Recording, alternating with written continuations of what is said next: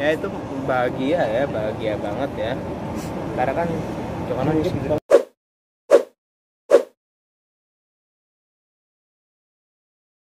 To the point aja dulu mengenai pertemuan ayah dan bunda kemarin di Indonesian Idol Hmm.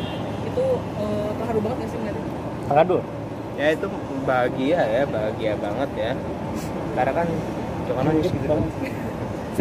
Karena kan jarang gitu kan momen pertemuan ayah bunda kan jarang. Dan itu salah satu pertemuan itu adalah pertemuan yang langka bisa dibilang langka ya. Ya sebagai anak ya pasti senang gitu ya pasti senang. Dan merupakan aku rasa itu merupakan kebahagiaan hakiki yang ada di dunia gitu ya melihat orang tua yang sudah berpisah kembali lagi yang satu scene gitu ya. Cuma ya ya bahagia. Sempet ngobrol-ngobrol gak nih? Mungkin di luar studio atau siapa? Eh, bunda sama ayah? rahasia tuh. Tapi masih menjalin komunikasi kan untuk membicarakan anak-anaknya, kamu tahu kurang tahu saya kurang tahu.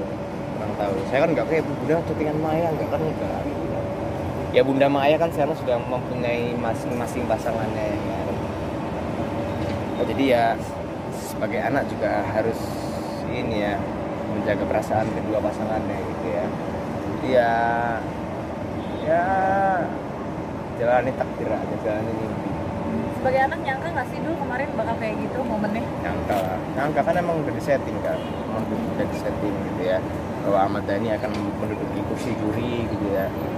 Eh, jadi ya kita emang Al juga datang kakak Al juga datang di di kursi penonton dan alhamdulillah saya juga mengiringi.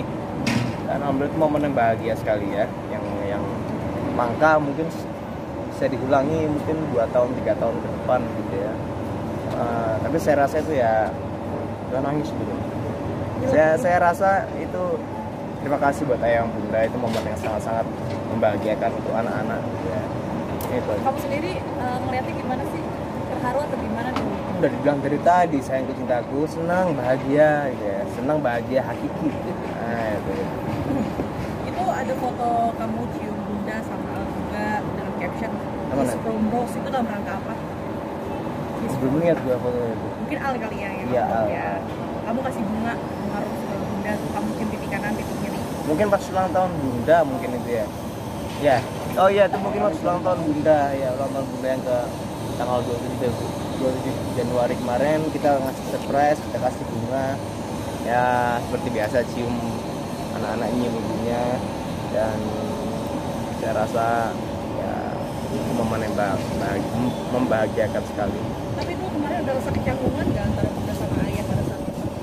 nggak ada sih nggak ada sih semuanya ngalir gitu aja alhamdulillah deh. Oke. Eh, melihat eh, kalau boleh tahu untuk Bulan Sedih sama Bunda Sedih sudah akur belum? Mau kurang tahu saya. Itu kan hubungan antar wanita ya. Saya nggak nggak ikutin dan nggak ngurus.